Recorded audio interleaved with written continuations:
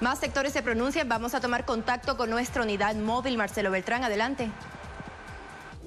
Así es, nos encontramos en la Cámara Agropecuaria y bueno, vamos a hacer la consulta respecto a cuál es la posición eh, que tiene eh, la Cámara Agropecuaria en todo el país respecto a este proceso que se ha iniciado contra Luis Arce Catacora, Evo Morales y bueno, el mayor dirigente de la Central Obrera Boliviana. Bueno, un distinguido saludo a la audiencia de Noditel. Indudablemente nos acabamos de enterar como todo el país es un tema eh, estrictamente judicial y político. Por tanto, nosotros vamos a poner en consideración de nuestros 15 eh, directores de la institución para que en conjunto tomemos una posición oficial. Sin embargo, es importante avisarle al país de que estamos al borde de que se desabastezcan los mercados de producto vamos llevando aproximadamente 60 millones de bolivianos de pérdida. Pero no son los 60 millones, es el problema que detrás de esa plata están miles y miles de pequeños grupos familiares de productores agropecuarios que nos dedicamos de por vida a esta actividad.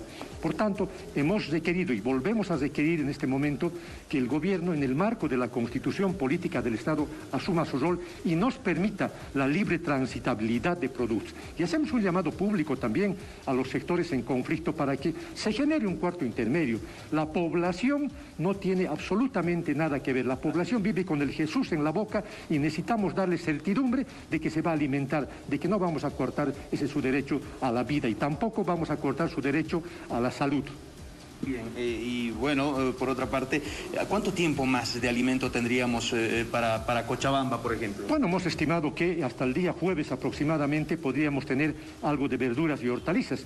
los demás productos difícilmente van a llegar al mercado, ya que somos los primeros productores de cítricos, de banano, palmito, pescado, por ejemplo, de, este el trópico cochabambino, que hoy por hoy está totalmente bloqueado.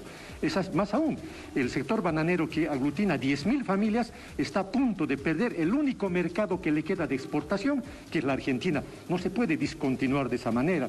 Y ni quiere decir el sector productores de miel estaban empezando la cosecha de estos días y hoy estamos totalmente limitados, sin hablar finalmente del tema floricultor, donde 4.200 familias a partir de octubre pasado ya se encuentran en, la total indigencia. Bien, perfecto. Es la postura de la Cámara Agropecuaria que demuestra su preocupación ante los bloqueos que vive el país.